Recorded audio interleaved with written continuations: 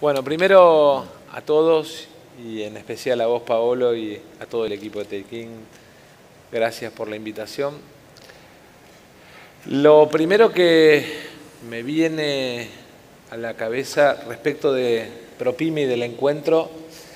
es que acá está la demostración de que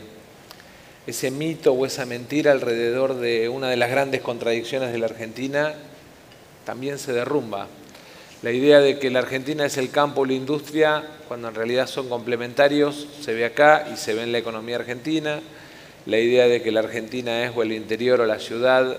también se derrumba porque tenemos valor agregado que complementa uno a otro. Y la idea de que es grandes empresas o pymes, acá queda claro que en realidad es una falsa dicotomía de las tantas en las que a veces perdemos tiempo los argentinos. Así que yo saludo el ejemplo de, ProPyme, primero porque hay más de 1.007 pymes de la Argentina que tienen o son parte de un ecosistema de capacitación, de crédito, de fomento para la inversión, pero sobre todas las cosas porque creo que en definitiva la construcción de esos ecosistemas son los que después permiten darle sustentabilidad a los proyectos como el que estábamos viendo recién. Porque en definitiva hay una complementariedad. Recién Pablo hablaba de la oportunidad que representa este contexto global. Efectivamente estamos viviendo dos grandes momentos que nos están pasando y nos están conviviendo que son muy particulares a nivel global. El primero somos convivientes de la revolución de la tecnología y el conocimiento, y eso está cambiando nuestros hábitos, está cambiando nuestra forma de producir,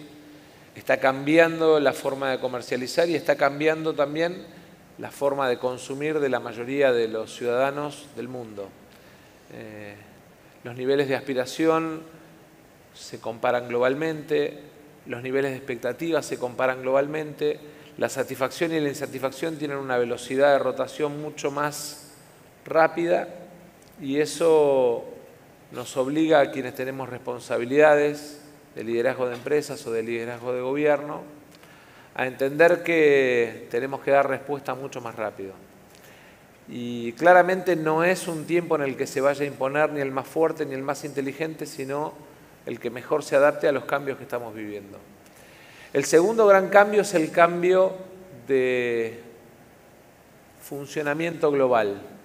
Vamos a un proceso que el Comité de Desarrollo, el Fondo, el Banco Mundial lo llaman fragmentación,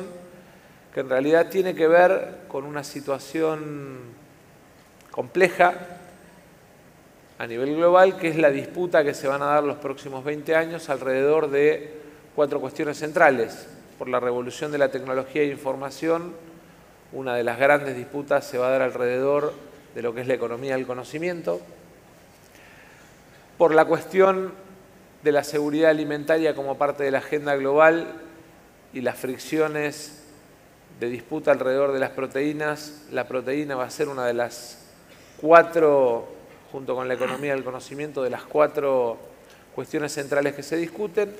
La tercera está vinculada, producto de la revolución de la tecnología y el conocimiento y el impacto de los minerales en los nuevos procesos de industrialización alrededor de los minerales y la cuarta es alrededor de la energía, porque la revolución de la tecnología y el conocimiento impuso bienes durables y de uso que demandan un sostenimiento energético mucho mayor del que teníamos hace 10, 20 o 30 años. En definitiva, esa es la discusión en la que está el mundo hoy. Y uno mira a la Argentina y dice, bueno, estamos frente a un país que junto con Brasil representa el 42% de las proteínas mundiales, de la producción de las proteínas mundiales. Brasil, Argentina, Paraguay y Estados Unidos representan casi el 80% de la producción de proteínas del mundo. Y está claro que eso para la Argentina representa una oportunidad enorme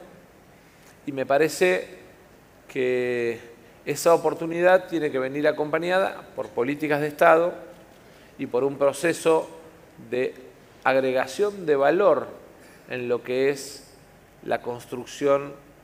del flujo comercial de proteínas de la Argentina, que es muy importante. La ley de bio y nanotecnología y la ley de economía del conocimiento y todos los incentivos apuntan claramente a consolidar esa agregación de valor para que tengamos la capacidad en los próximos 10 o 20 años de no solamente ser exportadores de proteína desde el punto de vista base, sino de ser exportadores de proteína con primero, segundo y tercer piso de valor agregado. Cuanto mayor sea el valor agregado, mayor va a ser la riqueza de nuestro país y ese valor agregado centralmente es conocimiento con inversión intensiva. En la energía tenemos el segundo el segundo reservorio global de shale gas, el cuarto de shale oil a nivel global.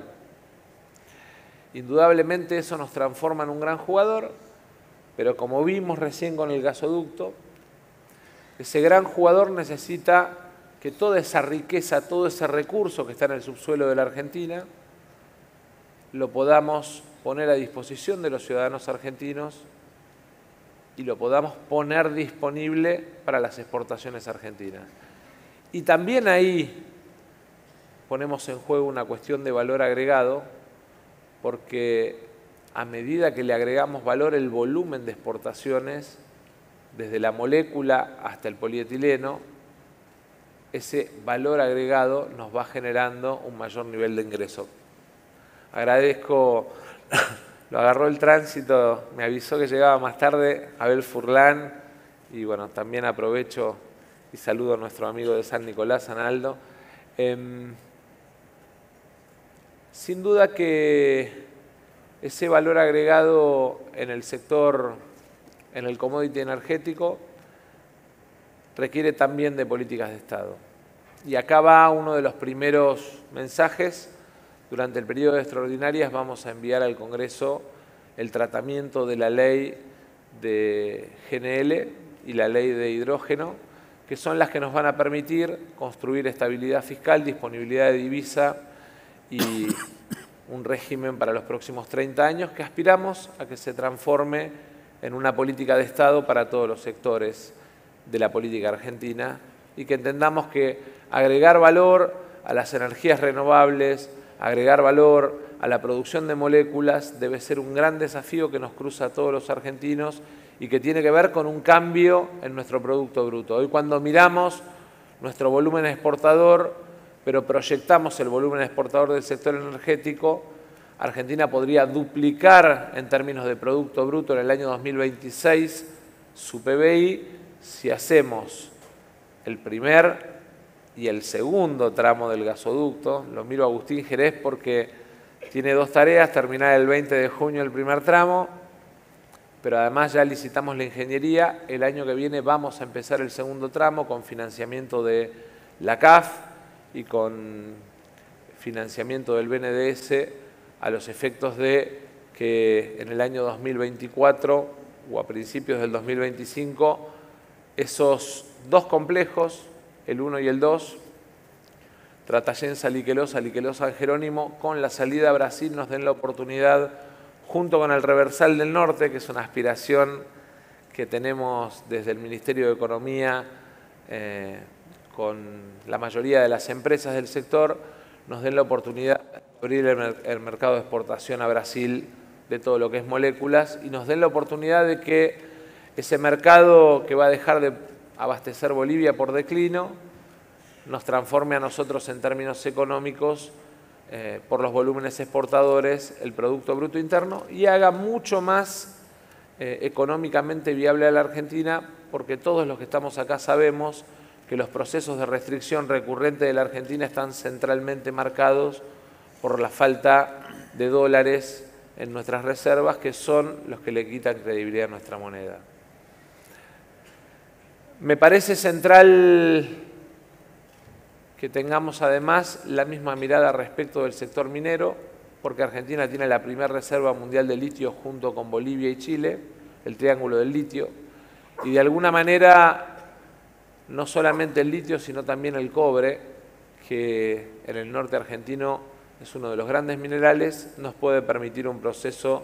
de reconversión muy fuerte del Producto Bruto y además le puede cambiar la realidad a esas provincias. Y obviamente en economía del conocimiento todos sabemos que el valor de capital humano argentino es absolutamente reconocido a nivel global y hoy, junto con Colombia, somos el principal proveedor de la región de capital humano. Lo que tenemos que lograr es que ese capital humano se quede en la Argentina y sirva para seguir generando mayor volumen de exportación del que mayor rentabilidad genera, que es el de la exportación de conocimiento, que de alguna manera es eh, tal vez el principal valor económico de la Argentina en términos de lo que representa nuestra gente por su talento individual y por su capacidad para emprender. Estas obras necesitan condiciones macroeconómicas y microeconómicas que de alguna manera son responsabilidad de todos sostener. Hace cuatro meses, junto a un equipo, nos hicimos cargo de un Ministerio de Economía que unifica todas estas áreas. Es un Ministerio de Economía que unificó agricultura por lo que representa en la batalla global el tema de proteínas. Es un Ministerio de Economía que unificó energía y minería por lo que representan la energía y los minerales. Es un Ministerio de Economía que unificó economía del conocimiento centralmente porque creemos que promover a través de la Ley de Economía del Conocimiento y facilitar los volúmenes exportadores nos permiten mostrar ya este año que esa industria o ese sector de servicios representa uno de los cinco grandes exportadores de la Argentina. Y obviamente que a las cuestiones vinculadas a los proyectos de desarrollo le tenemos que poner una base que está centralmente apalancada en cuatro pilares que definimos como pilares centrales de funcionamiento. El primero es el orden fiscal. Desgraciadamente, en el mes de agosto Argentina estaba en 12,4 de déficit fiscal. A pesar de eso, vamos a cerrar el año con 2,5, cumpliendo el programa que nos habíamos propuesto en el DNU de presupuesto porque no tuvimos ley y de alguna manera tratando de cumplir además los compromisos internacionales que Argentina ha asumido a lo largo de estos años. El segundo gran objetivo es el de acumulación de reservas y ahí, más allá de títulos, críticas que pueden hacer desde el juego de la construcción, eh, yo diría, de la construcción más política y no vinculada tanto a lo económico, eh, desde algunos sectores vamos a seguir incentivando con programas exportadores a todos aquellos sectores argentinos que de alguna manera necesitan competitividad y que de alguna manera necesitan que el Estado les dé herramientas de apalancamiento para promover y aumentar el volumen de inversiones. Tal vez algunos cuando promovimos a economía del conocimiento un cambio en su régimen de liquidación de divisas o un cambio en sus regímenes de liquidación de los volúmenes exportadores, lo calificaron como un tipo de cambio. Eso no es un tipo de cambio, es un régimen de promoción, porque si tenemos cuatro oportunidades centrales en la economía global, las tenemos que promover y además aprovechar los contextos de oportunidad que nos da la economía global, no solamente en términos de volumen de espacio, sino también en términos de tiempo. Así que vamos a seguir por el camino de acumulación de reservas. Eh, la semana que asumimos, técnicamente planteaban que estábamos en 426 millones negativos de reservas, habíamos tenido que utilizar el swap. Ustedes saben que parte de la negatividad del proceso de reservas disponibles se dio por el aumento de importaciones de energía sin cortar el ciclo productivo de la Argentina. Esa fue una decisión que de alguna manera lo que pretendió es tratar de que Argentina no sintiera lo que el mundo estaba sintiendo. La guerra a la Argentina le costó más de 5.200 millones de dólares. Es algo que no lo discutimos en términos políticos, no lo discutimos como sociedad, pero el impacto de la guerra en términos de balanza comercial y en términos fiscales fue de 5.200 millones de dólares y de alguna manera eso también es parte de la discusión hoy geopolítica y global porque los países centrales disputan su tablero económico en una guerra y los países del hemisferio sur lo terminamos pagando en nuestro propio invierno, que fue el primer invierno que tuvo la guerra. Hoy se discute porque viene el invierno europeo, vamos a ver una Europa con dificultades y recesión, pero en realidad los primeros que pagamos la guerra fue en el hemisferio sur, los que vivimos y los que trabajamos y los que sufrimos la guerra sin ser parte de la discusión geopolítica internacional.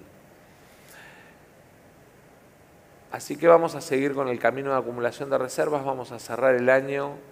con más de 7 mil millones de dólares disponibles de reservas, se activa además un swap de 5 mil millones de dólares de libre disponibilidad con China que nos da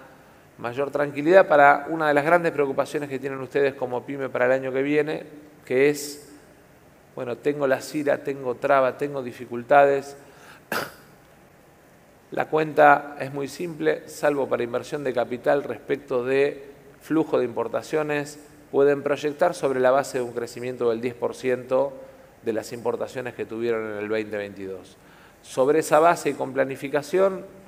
no van a tener problemas ni de aprobaciones ni de disponibilidad. Obviamente hay casos que el salto va a ser mayor porque hay inversiones de capital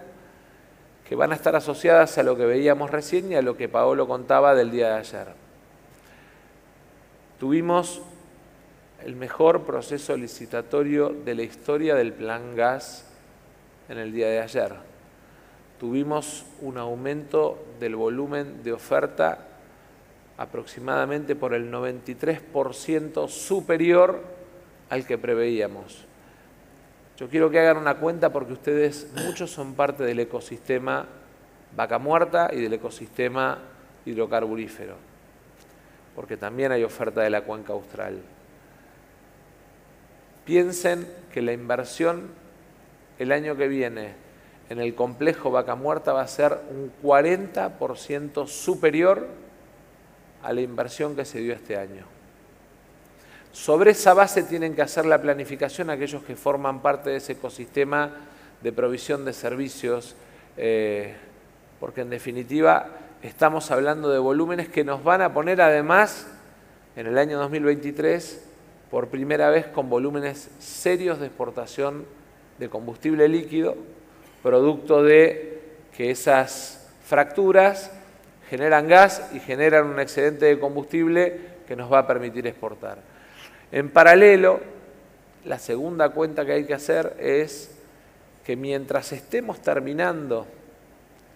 el tramo 1 del gasoducto, vamos a estar empezando el tramo 2. Y acá vuelvo a mirarlo a Agustín, que es quien tiene la responsabilidad. Y de alguna manera, con lo que nos vamos a encontrar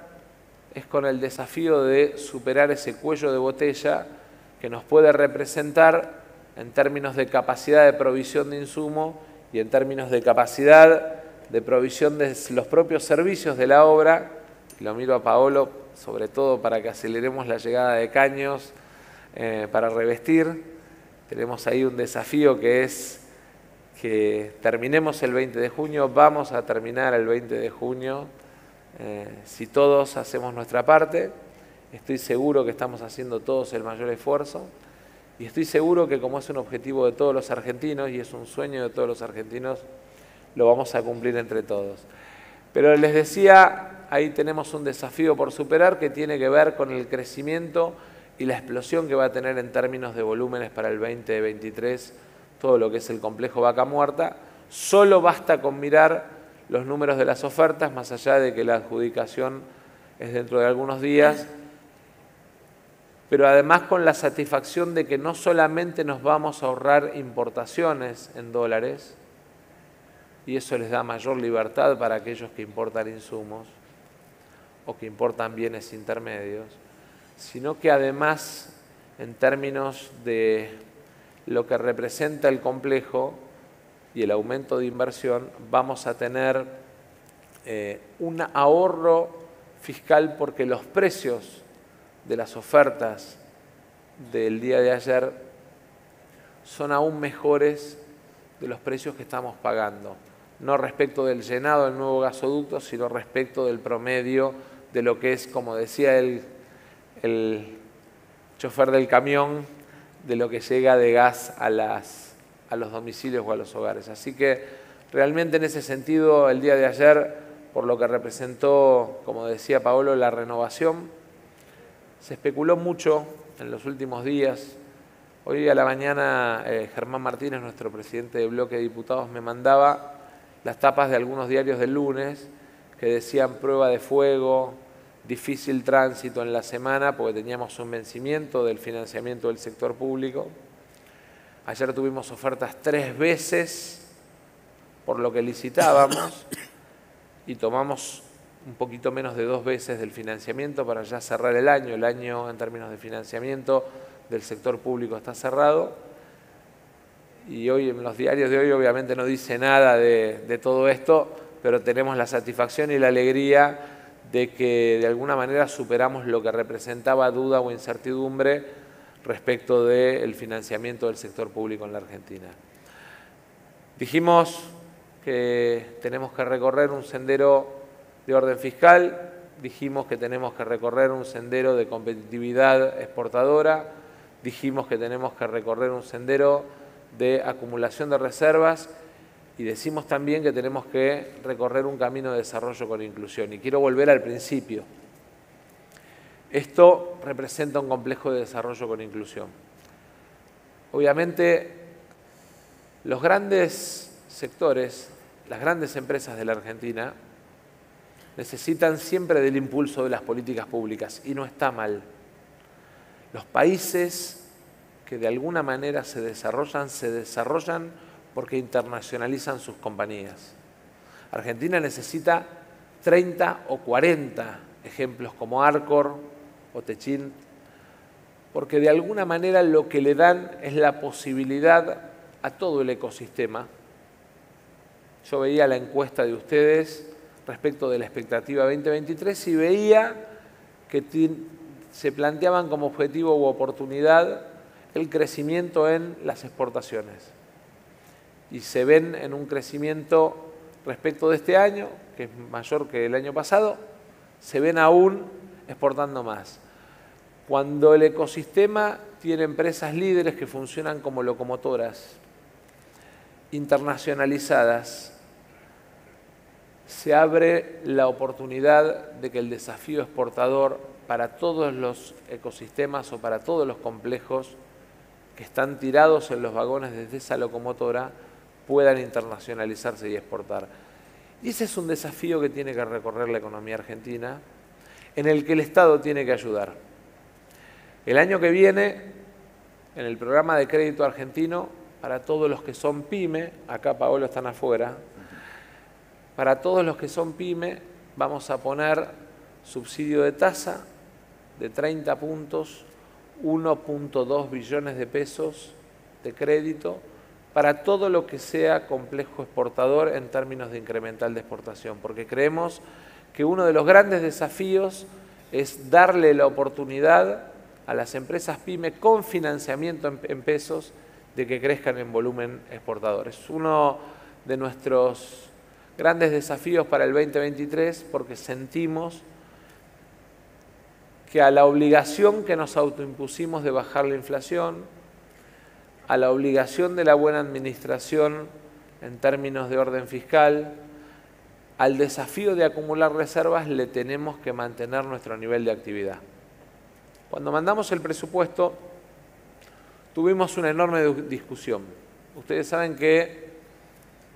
en el, año pasado nos quedamos sin presupuesto, no tuvimos la oportunidad de tener presupuesto y eso se notó este año, inclusive en el desorden en las cuentas públicas porque genera tensiones. Cuando no hay una hoja de ruta, les pasa a ustedes, imagínense en el Estado, genera tensión y tironeo respecto de quién se lleva la parte del león en la distribución presupuestaria. Por eso cuando presentamos el presupuesto en el Congreso le planteé a la oposición que aprobara ese presupuesto o el que quisiera, pero que aprobara uno, porque era malo para el país no tener hoja de ruta. Y nos planteamos un desafío que es el de, de alguna manera, tratar de construir indicadores como desafíos creíbles. llevar la inflación a 60 puntos, bajarla, plantear una tasa de crecimiento relativamente moderada para que no se estableciera la discusión de si estaban dibujando el crecimiento, de si estaban dibujando la inflación, si era dibujo de mayores recursos, para tratar de construir una credibilidad mínima en el funcionamiento del Estado 2023. Pero tengo la seguridad de que solamente por lo que representa la atracción del sector turístico, por lo que representa el crecimiento del sector construcción privada para el 2023 proyectado, por lo que representa mantener un punto 7 de inversión pública desde el presupuesto del Estado, por lo que de alguna manera nos muestra la foto de la licitación de ayer respecto de lo que va a ser volumen de inversión y de actividad en el complejo Vaca Muerta, Argentina tiene la oportunidad del año que viene de crecer más de tres puntos y medio. Y ese tiene que ser nuestro desafío. Nos caímos en la pandemia, recuperamos, crecimos 10 puntos, vamos este año a tener un crecimiento mayor a 5 puntos del PBI, tenemos que seguir creciendo para construir tres años consecutivos de crecimiento que hace mucho tiempo que no nos pasa en la Argentina. ¿Eso qué requiere? Requiere que tengamos la capacidad de distinguir lo que hace al desarrollo de la Argentina de lo que plantea la disputa electoral. Y en ese sentido, los invito a que invitemos a que la discusión en el 2023 se dé en el marco de la construcción del futuro de la Argentina y no de la destrucción del otro. Tenemos que salir de esa enfermedad de la que hablábamos cuando arranqué, que planteó la idea de interior o ciudad, industria o campo, grandes empresas o pyme, para ir a la construcción y al debate de un modelo de desarrollo argentino. Infraestructura como los gasoductos o las plantas de GNL, segundo y tercer piso para el campo, agregado de valor a través de nuestro propio talento en las economías y en los commodities que son competitivos a nivel global, son un desafío que no puede tener disputa política. Tienen que ser un desafío planteado como un modelo de desarrollo nacional y en definitiva, en todo caso, si la discusión como modelo de país es si queremos tasa subsidiada para hacer competitiva nuestra industria o no, si queremos un tipo de cambio competitivo para darle mayor volumen exportador o no a la Argentina, si creemos en un modelo en el cual el Estado apoya o no el funcionamiento de las grandes industrias para construir ecosistemas que agreguen valor e internacionalicen las compañías y el trabajo argentino, son los debates que tenemos que darnos en el 2023, para salir del reduccionismo chiquitito, de ver quién destruye o lastima más al otro y pasar a la construcción de un modelo de país que nos permita hacia adelante ser parte de esa disputa geopolítica en la que por capacidad y volumen en energía, en minerales, en economía del conocimiento por el talento argentino, y obviamente en el sector agronegocios, que es uno de los más competitivos del mundo, podamos disputar como argentinos esa batalla geopolítica a la que nos desafía el mundo para los próximos 20 años. Muchas gracias.